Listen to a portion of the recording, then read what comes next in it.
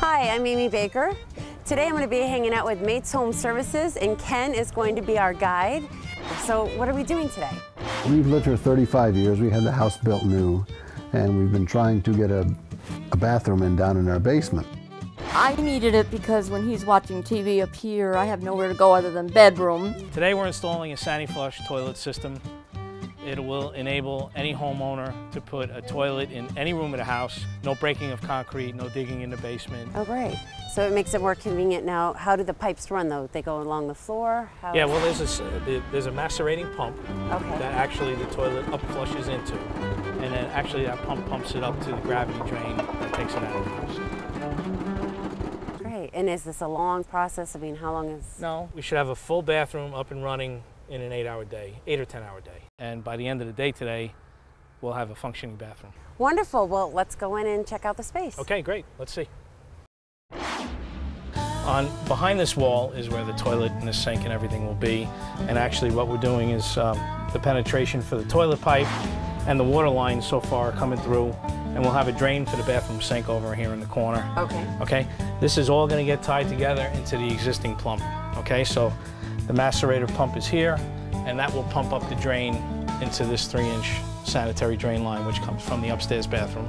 So this piece doesn't have to be behind the toilet like you would normally see in the bathroom? It, it, it can do both. If you don't have enough room behind a wall Okay. to, to hide the pump, you can put it in the bathroom. Okay? But in this situation, that bathroom is going to look like any other bathroom. You're not even going to know there's a pump behind here, and the, the quietness of the pump will make it seem like there is no pump. That's, that's even better too. So this will pump up uh, your sink water or your toilet water up into the drain. Okay. There'll be a vent that will go outside, out to the outside, and we're going to be cutting into the hot and cold copper pipes above, putting some valves in, and extending the pipes over to tie in the sink and the toilet. Are you going to start working on this or are we're going to have... Actually, no, the star of the show is Ed, and he's going to be taking us to finish on the project. Hi, Ed, you star of the show. nice to meet you. So this is really interesting. Is this a new technology?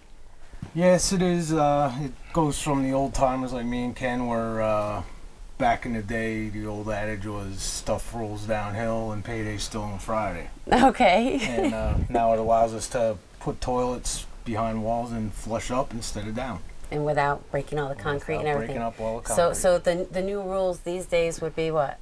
Payday's still on Friday, Yep. Okay. but you can flush uphill. Wonderful. Good. well, I'm going to get out of your way so you can get at it. Uh, we'll check in with you a little later. Okay. Okay. Sounds good.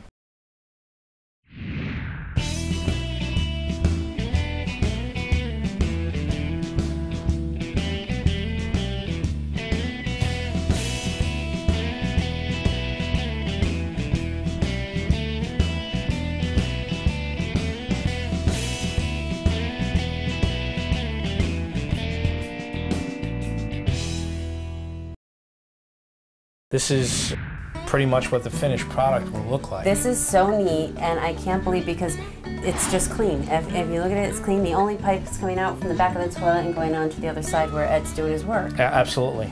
The only, a little finishing touches left, some uh, bottom molding, um, uh, mirror, light bar, and, and some electrical work where, that Chad's going to be doing for us later.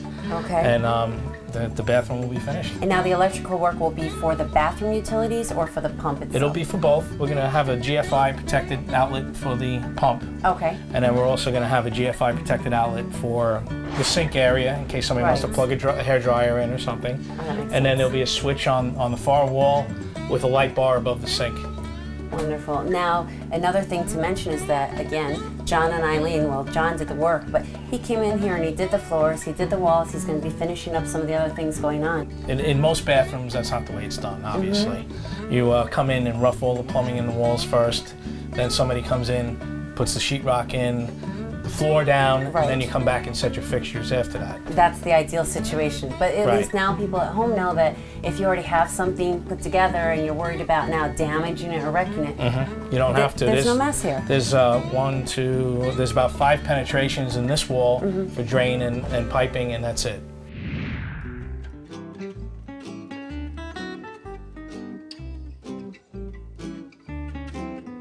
Today we're here back again with Ken from Mates Home Services in John and Eileen's basement because we're going to do the inspection process. Right. Now we talked uh, with Eddie the day we did the installation about the two rules that every plumber learns right away, Right. which is Stuff rolls downhill and payday's still on Friday. Now we have to contradict one of those rules right, because right. it's not going down anymore. Now we're going to make sure. So now sure we have goes an up. up flush toilet. Okay, let's see. I can flush it now. We'll go Absolutely. right ahead. Okay. Oh, and you hear it too. Now another feature of this particular toilet, it's not the toilet but the seat, Okay. is that when you, when us men put it up, when we get finished, we can't slam it.